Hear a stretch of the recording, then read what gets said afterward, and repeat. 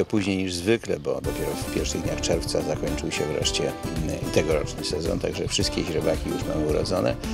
Y, Urodziło ich się y, 19 półkrwi anglo-arabskiej i, y, i 59 czystej krwi arabskiej. Ciekawostką jest to, że odwrotnie do normalnej dla nas sytuacji, kiedy było zawsze dużo więcej ogierków niż klaczek, tak jak już Janów y, zawsze miał ten problem, to w tym roku mm, wyrównało nam te poprzednie lata i mamy dwa razy więcej klaczek niż ogierków. Jest y, w sumie, y, w sumie prawie 30, y, 29 klaczek i 20 y, ogierków, z czego się bardzo cieszymy.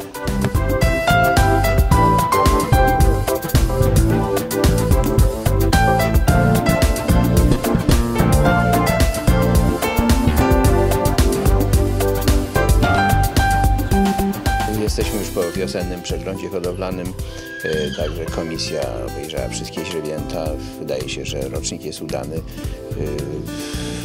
E, Jesteśmy usatysfakcjonowani jakością tych źrebiąt. Każdy z ogierów, e, który był użyty w zeszłym roku, zostawił dobrą stawkę mm, źrebiąt, także będzie, będzie myślę dobry, my to nazywamy remont stadniny, czyli będzie można tymi lepszymi wymienić te gorsze w przyszłości.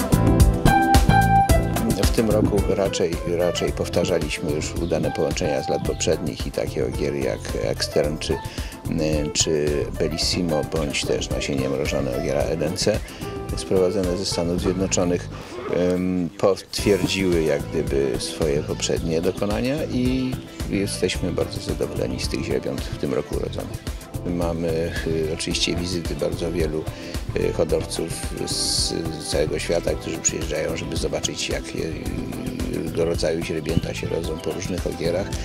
Mm, No, bardzo wielu z nich chętnie by widziało swoje ogiery tutaj, tutaj użyte, ponieważ no, użycie w polskiej hodowli ogiera daje mu, daje mu no, duży prestiż.